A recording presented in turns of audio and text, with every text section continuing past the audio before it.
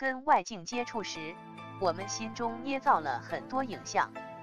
望有缘看到这个视频的朋友都能随喜订阅人间修行路频道，点赞并转发本视频，让更多的有缘人加入修行的队伍，就是成就不可思议的法布施功德。法无而可得，无染而有净，应知如幻等，亦复如虚空。这个地方是对变计值的存在性跟它所产生的障碍产生质疑。说这个变计值是龟毛兔角，是不存在的东西，你不能说变计值是由业力所生的，不能这样讲。我这个人业障重，不对，那跟业力没有关系，那是你自己烦恼捏造出来的。就是说，变计值是不存在的东西，那它为什么会有？它既然不存在，是怎么存在的呢？第一个，它是如何存在？第二个，变即值是一个虚妄的东西，它如何能够障碍缘成实？它是如何存在的？而且它是如何去障碍缘成实？去障碍我空法空的真理，使令它不显现？提出两个疑问，这以下论主加以回答：法无而可得。这个地方是回答第一个问题，就是变即值它是无。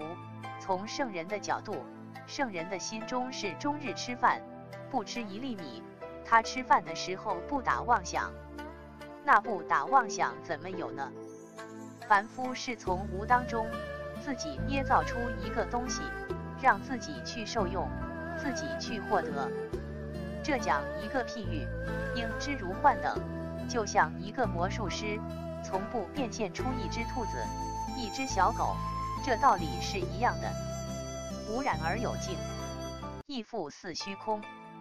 便即值它是怎么障碍缘成实呢？就好像乌云障碍虚空一样。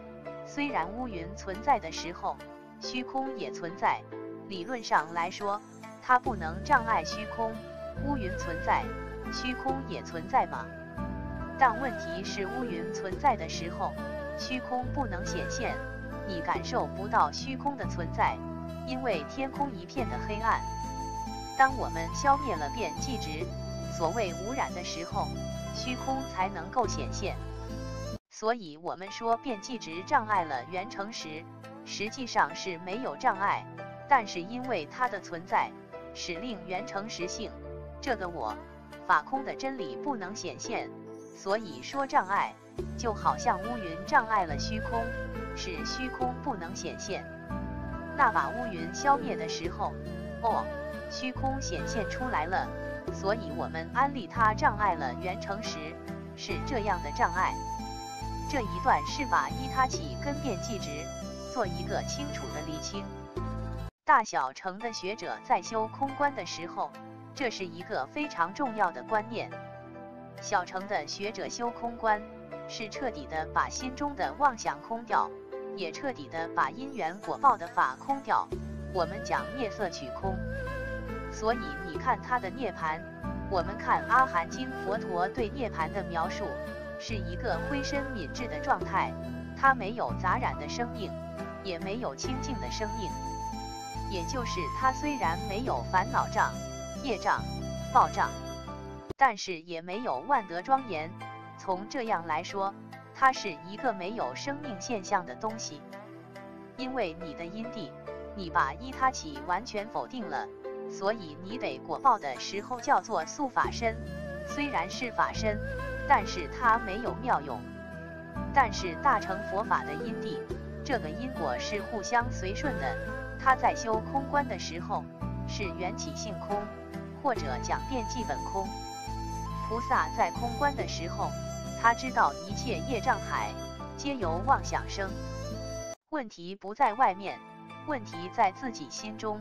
这些妄想所捏造的相似影像，它是消灭心中的相似影像。外面的因缘果报，它是坦然面对的，从因缘果报当中去断恶修善，积功累德。因为它不但是破除妄想。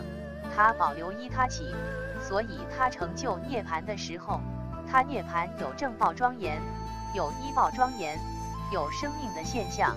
他不但能够自受用，还能够如来现起他受用，现出应化身根报身，广度一切的众生。所以你修空观，你不能把所有都空掉，你这样子就是错损菩提了。就是说，你空的是你心中的相似影像，这个跟外境没有关系。真正诱惑你去造业、去触动烦恼的，是你自己心中的影像。这跟外境没有关系。为什么圣人看到所有的境界，他都不起烦恼？如果境界一定会引动我们的烦恼，为什么佛陀看到这个境界，他不动烦恼，他升起大悲？问题不在外境，而是我们跟外境接触的时候，心中捏造很多的影像，然后在这个影像里面开始起惑、造业。这个是我们所要破坏的。